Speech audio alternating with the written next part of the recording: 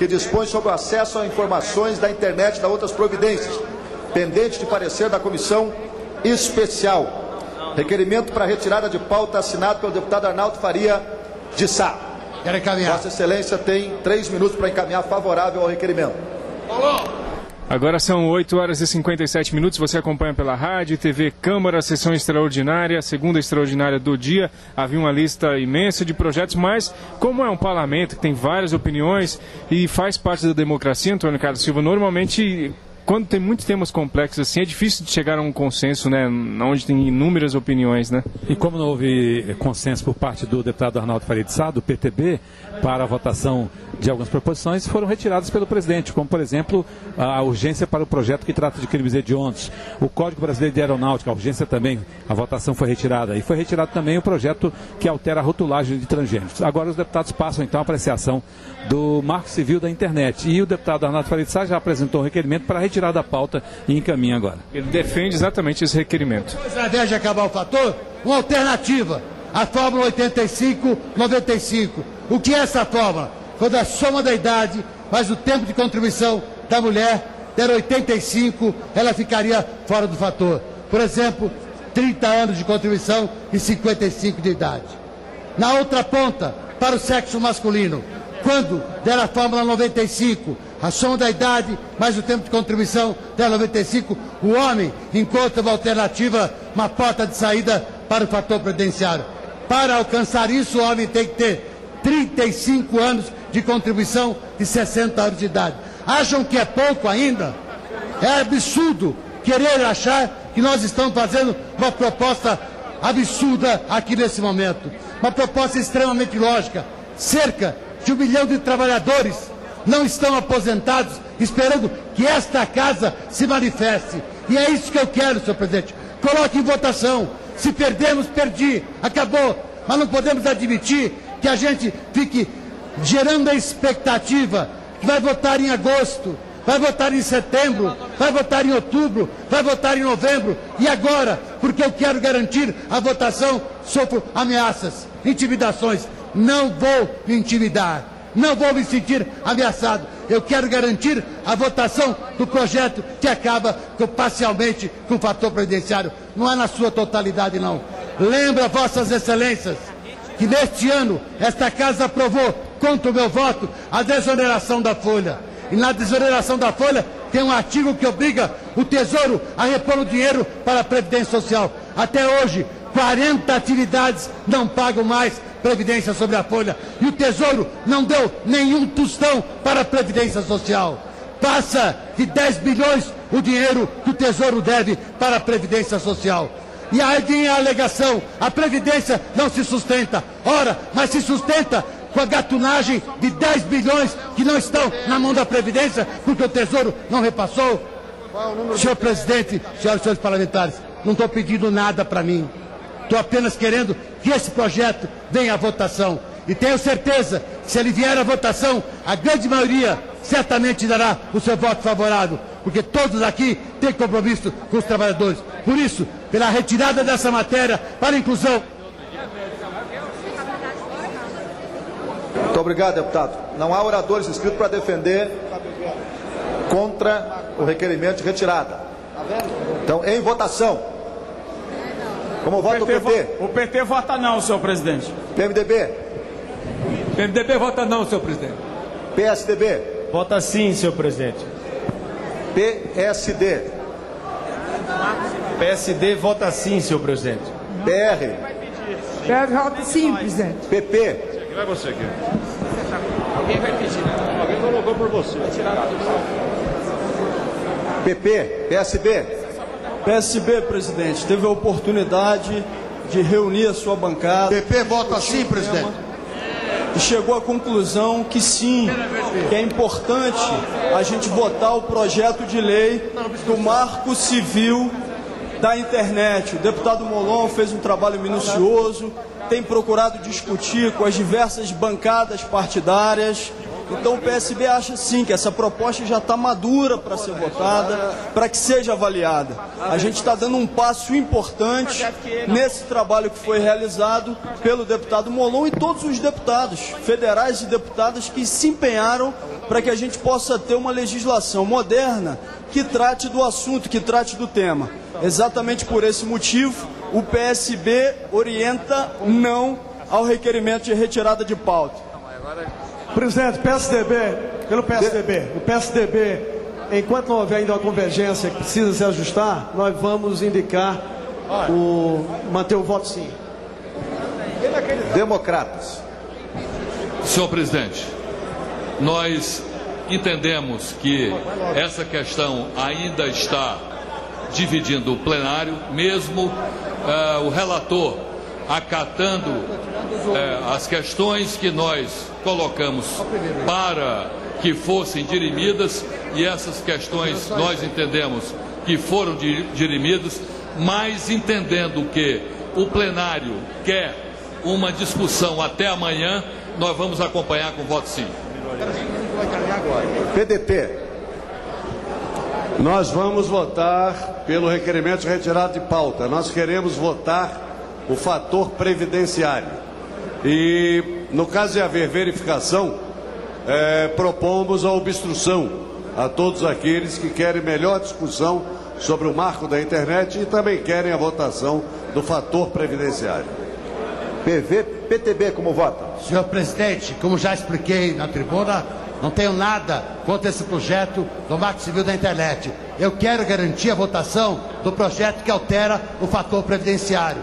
Está na pauta, inclusive, oficial da Câmara, que seria votado nesta semana. Então, se houver uma garantia que ele entre amanhã, aí a gente pode até conversar. Mas da forma que está sendo colocado e a lei Vosias dizendo que esse projeto é para acabar com o fator, nós não aceitamos essa colocação, nós queremos alterar o fator, não acabar com o fator. Mas tem gente que joga na tese do quanto pior, melhor. Eles querem quebrar a Previdência. Quem quer quebrar a Previdência é quem usa a desoneração e o Tesouro só nega o dinheiro para o caixa da Previdência. Essa é a grande realidade. Portanto, senhor presidente, em defesa do fator previdenciário, de forma consciente, garantindo a fórmula 9585, que é do próprio ministro que hoje faz parte do governo, nós encaminhamos o voto sim, vamos pedir verificação e obstrução. Fator previdenciário já. PV, PPS. PSC como vota? Senhor presidente, nós também, como defendemos a votação do fator previdenciário, nós encaminhamos a votação sim. PCdoB. Senhor presidente, o PCdoB compreende a importância dos dois temas. Eu, inclusive, fui a relatora do fator previdenciário na época em que ele veio à pauta a primeira vez aqui, ainda no governo Fernando Henrique. Foi uma relatora contra a existência do fator, mas acho que um tema não pode interferir no outro.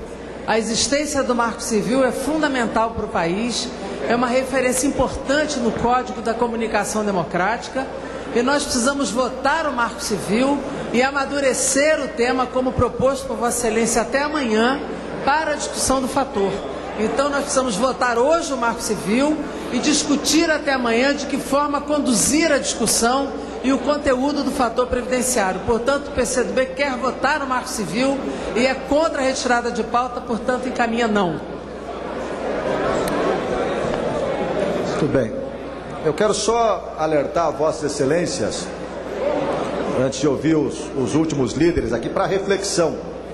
Esta será a quinta vez que nós vamos retirar da pauta de votações, duas ou três delas por acordo, inclusive deste uh, presidente, esta matéria do Marco Civil da internet. Então, se ela for mais uma vez retirada de pauta, eu quero dizer a vocês que ela vai entrar na minha conta de matérias que este plenário não quer efetivamente votar. Muito então, bem, senhor presidente. Ela vai para o Cinedi. Senhor né, presidente, só para registrar o PPPS é sim. Eu não vou. Presidente. É, porque aí falta costura política, outros interesses estão predominando, enfim, há uma vontade de não votar do plenário. Quero só alertar isto a vossa para não pairar dúvidas nenhuma sobre a decisão que vai ser tomada agora, que é uma decisão, na minha avaliação, que não tem nada a ver com o fator previdenciário. É uma ela avaliação tem, ela tem a ver, Está havendo encaminhamento? O tema oh, do Marcos BRD como voto. Foi alterada uma avaliação sábia, prudente e verdadeira de Vossa Excelência. E orientação é do, da tribuna? Pela ordem. PRB como voto? Sim, senhor presidente. PSOL. Senhor presidente, o pessoal quer votar o marco da internet e quer votar o fator previdenciário. Eu acho que está na hora de a gente votar e o plenário precisa se comprometer a votar o, fim do fator previdenciário, que é uma das maiores injustiças que já foram feitas contra todos os aposentados no nosso Brasil. Inclusive uma lei que é não só uma injustiça, como ele retroage. Mas nós temos que acabar com ela. Mas nesse momento nós podemos chegar a um consenso sobre o marco civil que já está adiantado, é possível votá-lo, regulamentar a questão da internet. Quero ouvir do, do relator Alessandro Molon quais foram as negociações que acabaram de ter com a oposição, que eu ainda não sei, para definir o voto concretamente, mas sou a favor de votar o marco civil em seguida o fator previdenciário, o fim do fator previdenciário. Pessoal, vota não. Como voto PEN? PMN? Minoria? Presidente, eu quero esclarecer que da parte do PSDB, da parte da minoria, a disposição de aprovar o marco civil está permanente o tempo todo. Há, entretanto, sim, nós pedimos o adiamento porque faltam pequenos pontos de entendimento. Eu diria que é um artigo só. É o artigo 13 que falta entendimento. Só esse. Se Mas houver- aí, aí você precisa, aí você precisa botar em votação e nós vamos negociando aqui a, a votação. Sim, é Mas não que dá tô- tirar é o que nós estamos fazendo, É presidente. que por um artigo você Mas é inacreditável, Eu não porque outros que não Eu não querem. posso entrar em discussão. Há outros que não querem. Minoria, como voto? Sim, caminhamos sim. caminhamos Minoria. sim. Enquanto Sim. esperamos. Governo. Governo como voto? Governo não. Muito bem. Em votação, as senhoras e senhores parlamentares que são favoráveis ao requerimento permaneçam como se acham. O requerimento foi aprovado. Verificação. Verificação. Verificação. Aprovado, aprovado. Verificação conjunta, presidente. Não, não tem número aqui. Verificação conjunta, PSB. O PT pede verificação, senhor Verificação. presidente. A Senhor lista. presidente, senhor presidente, o PTB, o PTB entre A obstrução. presidência solicita a todas as senhoras deputadas e aos senhores deputados que tomem seus lugares a fim de ter início a votação pelo sistema eletrônico. Está iniciada a votação. Bloco PV e PPS Detém obstrução. obstrução. O PSD entre em obstrução, senhor presidente. Senhor presidente, As outras duas matérias não é para serem votadas também. se- É isso? Senhor presidente, o deputado José Linhares votou com o seu partido na. O PV e PPS entre obstrução. PDT em obstrução. O PSD, obstrução. presidente, em obstrução. PR obstrução, presidente. PR. Presidente, retificação. Presidente, por favor, pede para mudar lá. pra- Antônio Carlos Silva, a gente observa que a sessão agora caminhou para um, um lado de que as divisões acabaram eh, tirando da pauta praticamente todos os itens, né? É, a polêmica em torno do Marco Civil da Internet, você viu que envolve inclusive partidos da base aliada. Tivemos um encaminhamento contra a retirada da pauta pelo líder do PT, do PMDB, do PSB e do PCdoB. Outros partidos da base aliada orientaram favoravelmente a retirada da pauta. Houve diversos argumentos, uns pedindo mais discussão para melhorar o entendimento, outros usando como argumento a votação do fim do fator previdenciário que não está na pauta da sessão de hoje. Aliás, várias proposições foram retiradas exatamente porque o deputado Arnaldo Faria de Sá, que é do PTB, eh, discordou da apreciação dessas proposições, votação de urgência, em função exatamente da não inclusão do fator previdenciário. O presidente Marco Maia, inclusive, há pouco explicou aí que é preciso encontrar um meio termo para que o, o fim do fator previdenciário sendo submetido à votação seja aprovado um texto que satisfaça tanto o trabalhador quanto também eh, não signifique eh, financeiramente alguma coisa ruim que o governo não queira acatar. E aí possa significar um veto da presidenta Dilma ou possa significar, eh, enfim, uma dificuldade na aprovação até no Palácio do Planalto da proposta que surgir dos entendimentos aqui. Portanto, ele convocou inclusive uma reunião de líderes para amanhã para debater exatamente a inclusão da pauta, inclusão na pauta desse do fim do fator previdenciário. E tivemos o posicionamento do líder do governo, deputado Arlindo Quinalho, colocando a posição do governo porque não quer apreciar no momento a, o fator previdenciário, colocando inclusive os números da previdência na argumentação do líder do governo. Certo. Presidente Marco Maia. Vou encerrar a sessão. Presidente, Presidente, o Partido dos senhor Trabalhadores. presidente. Presidente Marco Maia, Presidente. Presidente, um minuto, por favor. Presidente, o PP é obstrução. Presidente, eu, eu quero só fazer um registro aqui pelo PT, que é o seguinte. Senhor presidente, relator- o, Partido Progressista é obstrução. O deputado Molão fez todo o trabalho, dialogou com todos os Antônio Carlos Silva, pelo jeito, a sessão deve terminar, né? Sem entendimentos. Sem entendimentos. E pelo posicionamento dos líderes partidários, especialmente alguns da base aliada, diante da impossibilidade de um número para manter a proposta na pauta, vimos aí os líderes entrando em obstrução. Quando um partido entra em obstrução, o número, os parlamentares desta determinada bancada não conta para efeito de quórum. Isso impede ao alcance do quórum e a apreciação da proposição. Certo, deputado Bom Gás, PT do Estado do Rio Grande do Sul.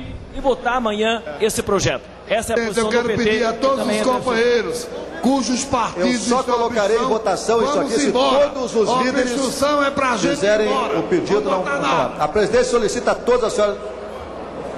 Senhor Cadê presidente, senhor presidente, está havendo um problema técnico. Eu, seguindo a orientação do partido, mudei o voto para obstrução. E a máquina informa que não é possível mudar o voto para obstrução. É uma questão. O, o sistema não, o sistema não prevê essa figura da mudança do voto para obstrução. Vossa Excelência registre o seu voto ah, de forma pública no plenário, no plenário que vai ser acolhido. Então, o meu, o meu voto é obstrução, porque esse, esse é o voto que o partido está orientando. E a máquina Nada mais registra- havendo a tratar, vou encerrar os trabalhos painel antes convocando sessão Altera o extraordinária para amanhã às 11 horas com a seguinte ordem do dia. Discussão em turno único do- da proposta de emenda à Constituição número 478B de 2010. antes de acabar. Bem. Só registrar. PT em obstrução. Obstrução, por favor. Obrigado. PT em obstrução. PSB Tá também. Está encerrada a sessão. PSB entra em obstrução.